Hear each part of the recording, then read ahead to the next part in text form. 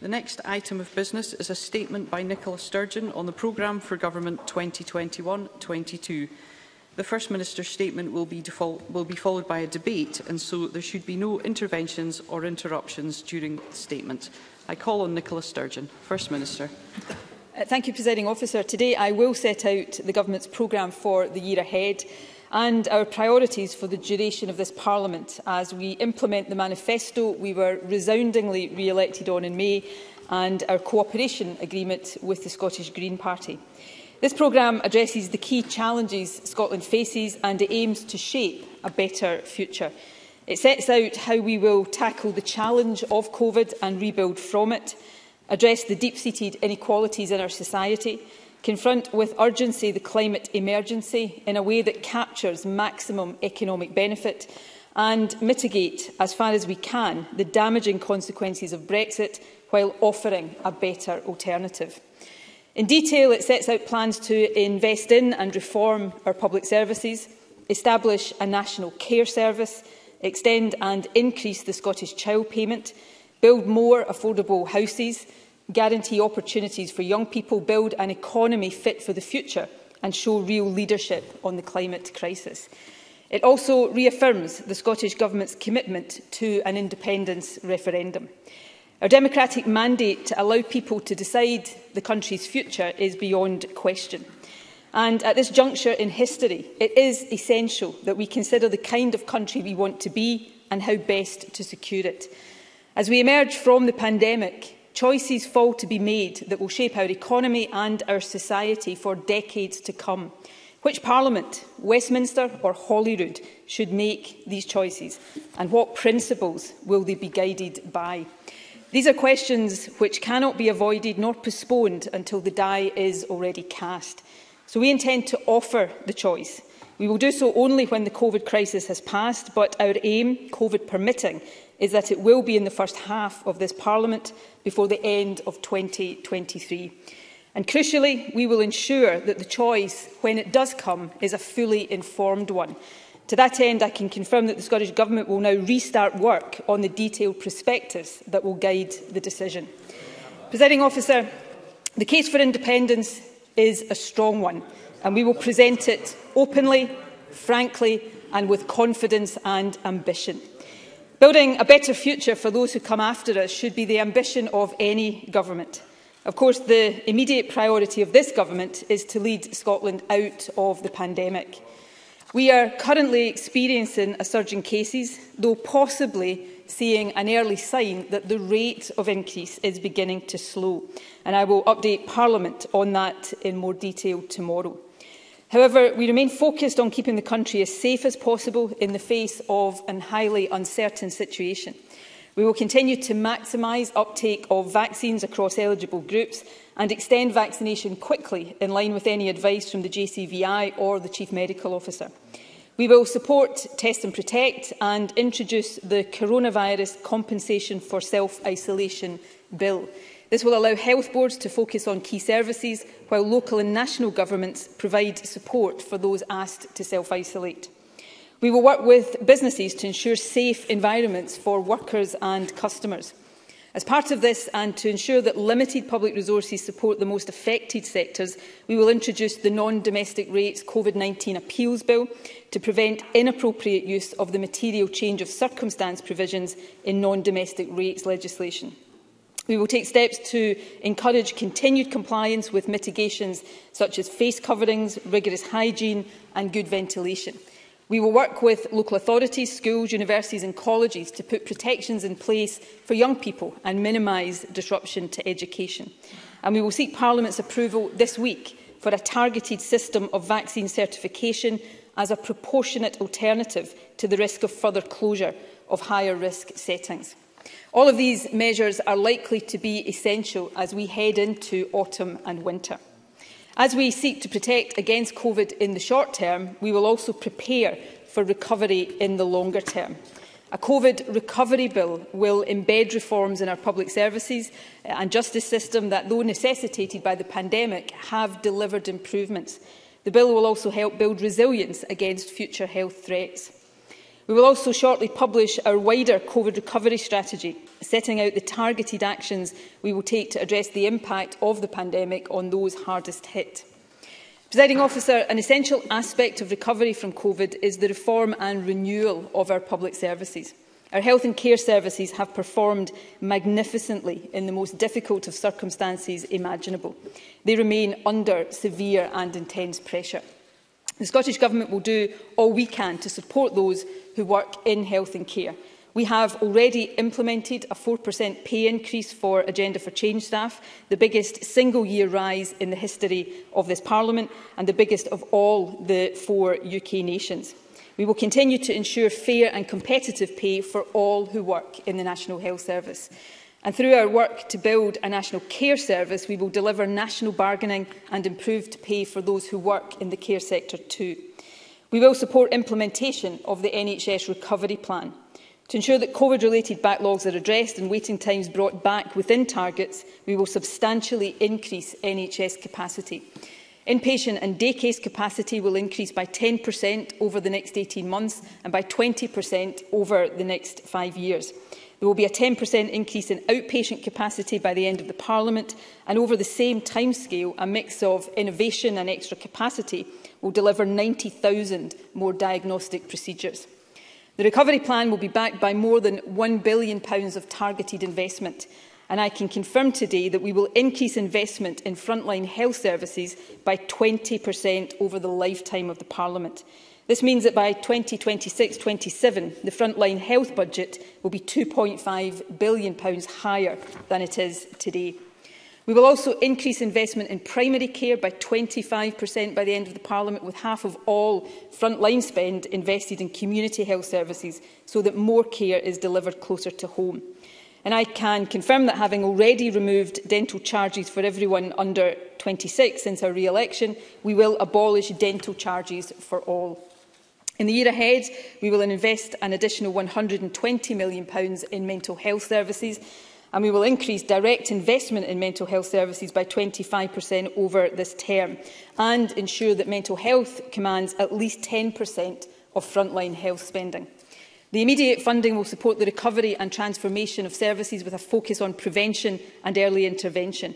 It will also enable the full implementation of the National CAMS service specification and clear historic waiting lists. We will also invest in the modernisation of the NHS estate.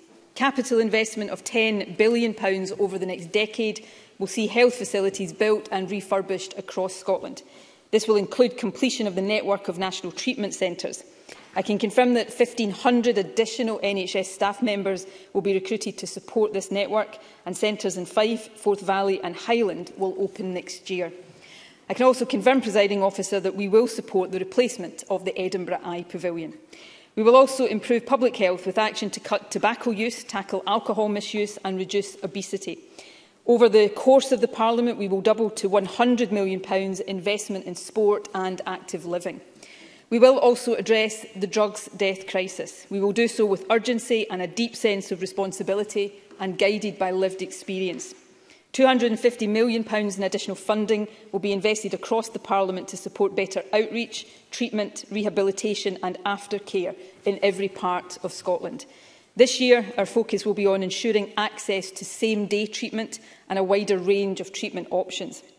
We will also provide guaranteed funding for grassroots organisations providing essential community support. Finally, on health and care, I can confirm that we will introduce uh, in this parliamentary year a National Care Service Bill. This will provide for the establishment of the new service, which we intend to be operational by the end of the Parliament, and implement what is arguably the most significant public service reform since the creation of the National Health Service. Alongside reform, there will also be investment. I can confirm that we will increase funding for social care by at least £800 million, 25% over the lifetime of the Parliament. We will also remove charges for non-residential care and we will introduce ANS law, giving nominated relatives or friends the same access rights to care homes as staff. Presiding officer, I know that the establishment of the National Care Service will spark much debate and it is vital that we get the detail of it right. But done well, as we intend, a National Care Service will be one of the biggest ever achievements of this Parliament. And just like the National Health Service in the wake of the Second World War, it will be a fitting legacy from the trauma of COVID. This programme will also support and reform other key public services. The measures we are outlining today will help our justice system recover from COVID. I can confirm that we will protect Police Scotland's resource budget for the duration of this Parliament and we will also support the modernisation of the Scottish Fire and Rescue Service. We will upgrade the prison estate with investment of half a billion pounds. A new community justice strategy to be published next year and backed by new investment will support a substantial expansion of community justice services and help reduce reoffending. We will also improve support for the victims of crime with the appointment of a Victims Commissioner and also a new fund to support victims' organisations. We will introduce a bail and release from custody bill to improve how decisions on bail are reached and also better support release from custody. And, presiding officer, while we are proud of the reputation of Scotland's justice system and the distinctive Scots law principles that underpin it, we will consider reforms to make it stronger still. I can confirm that this year we will launch a public consultation on whether the not proven verdict should be abolished. And we will also consult on the potential separation of the dual roles of Scotland's law officers. I can also confirm that in this first year of the Parliament, we will introduce the Gender Recognition Reform Bill. Presiding officer, I understand that some have sincerely held concerns about this legislation. It is therefore worth stressing, I think, what it will do, but also what it will not do. It will make the existing process of gender recognition less degrading, intrusive and traumatic. In other words, it will make life that bit easier for one of the most stigmatised minorities in our society. I think that is something any parliament should feel a responsibility to do. But what it will not do is remove any of the legal protections that women currently have. Presiding officer, we should never forget that the biggest threats to women's safety come, as has always been the case, from abusive and predatory men, from deep-seated sexism and misogyny, and in some parts of the world from lawmakers intent on taking away basic freedoms and removing the rights of women to control our own bodies. That is why I can also confirm that in this Parliament we will invest £100 million to tackle domestic abuse and violence against women and also support the frontline organisations who do so much to help them. And we will take account of the recommendations of the Working Group on Misogyny and Criminal Justice, which is due to report next year. We will also take forward our groundbreaking Women's Health Plan and move to incorporate key human rights conventions into our domestic law. Presiding officer, we will also take forward a number of measures to tackle long-standing concerns and address past injustice. We will introduce a fireworks and pyrotechnics bill to tighten the law on the sale and use of fireworks and reduce the misery they can cause in communities. We will make legislative changes to tackle irresponsible dog ownership and we will introduce the Fox Control Bill to strengthen the law on the use of dogs to flush foxes and other wild mammals. Last, uh, presiding officer, but by no means least, we will introduce the Minors Pardon Bill to provide a collective pardon for those convicted of certain offences during the 1984-85 minor strike. And I very much hope this will bring some closure to those convicted, to their families and to the communities affected. Presiding officer, in the year ahead and over this Parliament, we will continue our investment in and reform of education. We will implement the recommendations of the OECD review of the curriculum. We will continue to our work to close the poverty-related attainment gap with further investment of £1 billion over the course of the Parliament. Since the election, over £200 million has already been provided to local authorities, head teachers and other partners. We will also provide funding for councils to recruit uh, 3,500 additional teachers and 500 classroom assistants. £50 million pounds of this funding has already been allocated to support the recruitment of all of the classroom assistants and the first 1,000 teachers. We will also reduce the cost of the school day Since the election, we have already abolished music tuition charges and extended universal provision of school meals to children in primary four. Over the course of the Parliament, we will extend free school meals to all primary school pupils all year round. We will also provide every child with an electronic device and a connection to get online, recognising that this is as essential to education today as jotters and pencils were in years gone by. Support for children and young people is indeed one of the key th themes running through this programme.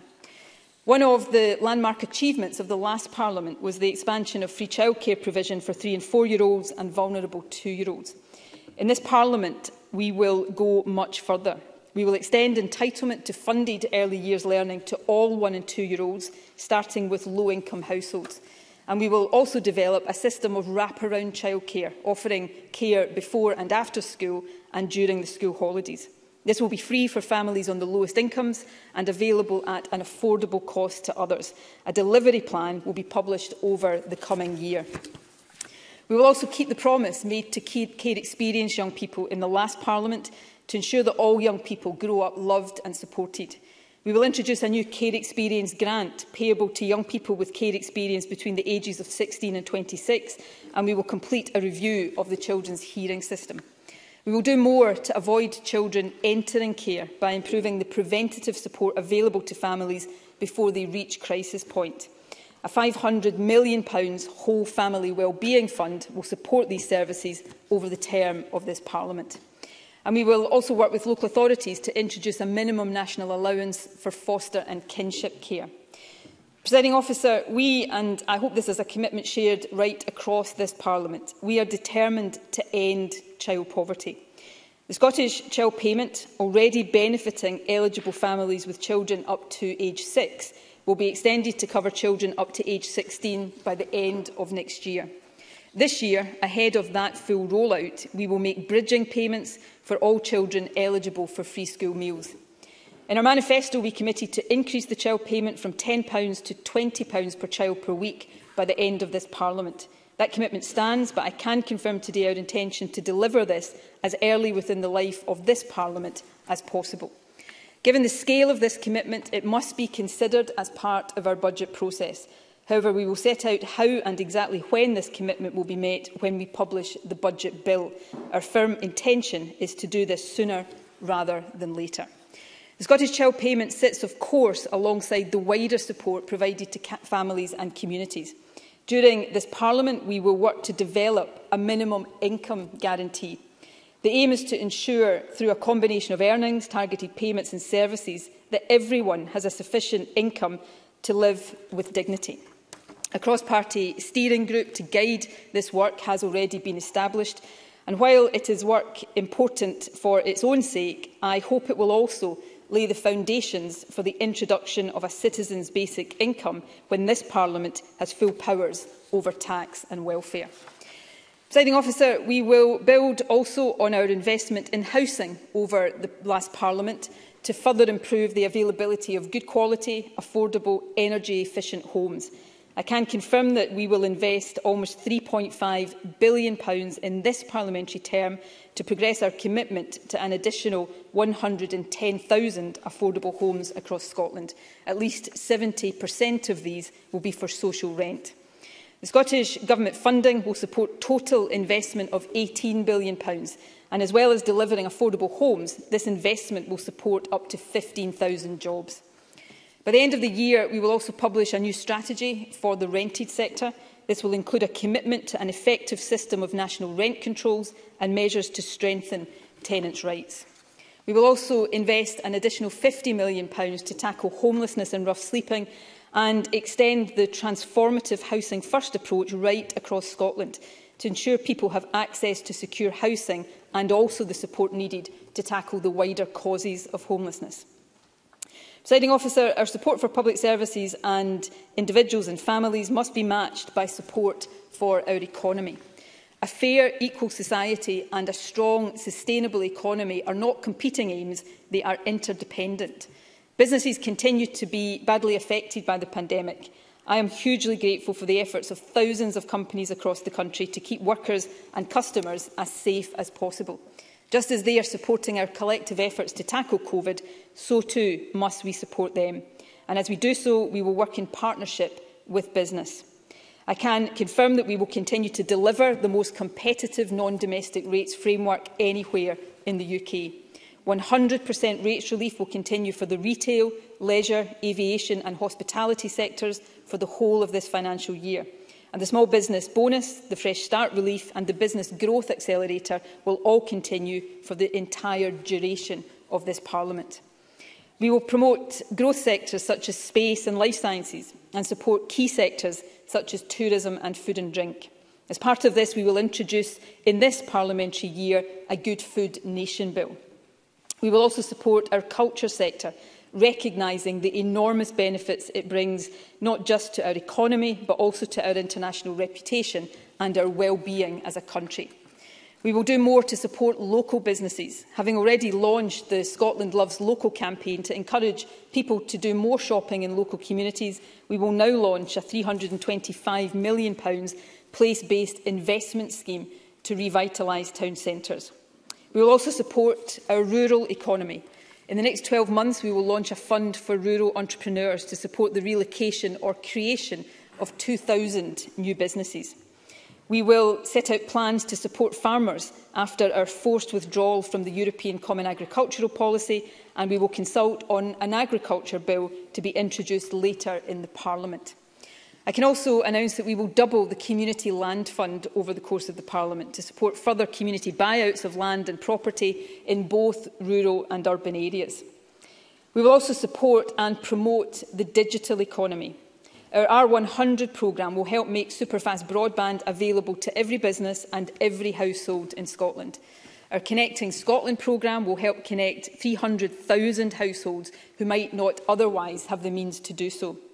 We have opened the £25 million digital boost fund to help small and medium-sized enterprises get access to both the skills and the equipment that they need.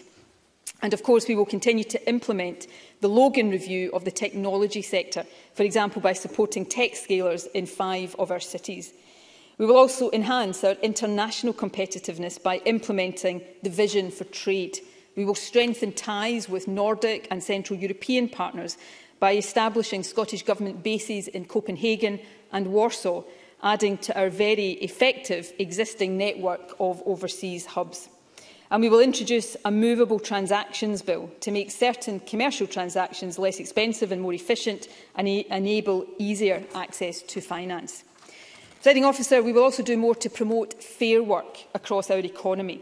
We will apply fair work first criteria to public sector funding and to contracts We will support pilots of a four-day working week, backed by a £10 million fund for participating companies. And we will develop a longer-term plan for the economy designed to recognise and harness the vast benefits of decarbonisation. This 10-year strategy for economic transformation will set out how we can and will become a net zero economy in a way that enhances prosperity, equality and well-being. When this strategy is published, we will also set out the criteria for a new national challenge competition. Backed by £50 million, this will fund projects with the greatest potential to drive and accelerate our net zero transformation. This national work will be supported by regional economic partnerships, which will be established over this coming year. We will also implement the recommendations of the Just Transition Commission. As an early commitment to this work, we will establish a 10-year £500 million Just Transition Fund for the North East and Murray, recognising the particular challenges for the region of the transition from oil and gas to renewable and low-carbon sources of energy. We are also determined that this generation of young people will not bear the long-term burden of the pandemic. I can confirm that up to £70 million will be invested this year to support the Young Persons Guarantee, intended to give all young people between 16 and 24 the guarantee of a job, a place in education or training, or a formal volunteering opportunity. That is part of a wider commitment to skills and employment across all age groups. We'll invest an additional £500 million to promote good and green jobs, address skills gaps, many of them being caused by Brexit, and help people retrain. This is essential to protect our economy from the severe consequences of Brexit, but also to achieve our net zero transition. We've already established a Green Jobs Workforce Academy, and later this month we will make the first allocations from the £100 million Green Jobs Fund. We'll also work to secure greater benefit from the renewables and low-carbon revolution for the Scottish supply chain, for example through the current ScotWind leasing round and we will invest £200 million pounds this year and a billion pounds over the Parliament in the Scottish National Investment Bank, which has as one of its key missions the transition to net zero. Over this Parliament, we will deliver capital investment of more than £33 billion. pounds And in the coming year, we will start work to establish a national infrastructure company to ensure that all public infrastructure investment delivers the greatest possible public good.